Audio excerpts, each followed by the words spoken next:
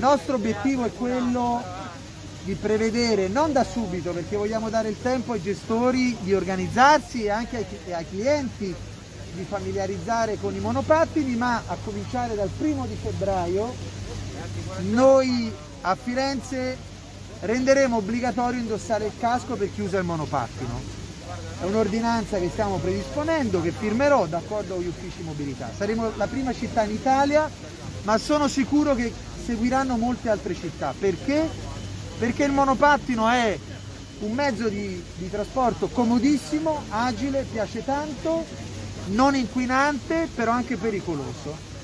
E visto che già oggi il casco è obbligatorio tra i giovani che hanno tra i 14 e i 18 anni, non vediamo perché non debba essere obbligatorio per tutti.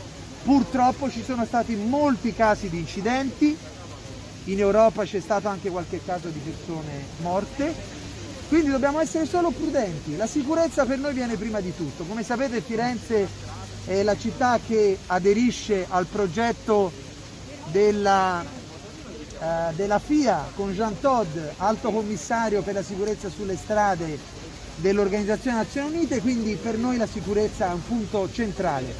Si può tranquillamente eh, aprire la città alla sharing mobility, lo abbiamo già fatto e lo vogliamo fare sempre di più, ma lo dobbiamo fare in sicurezza.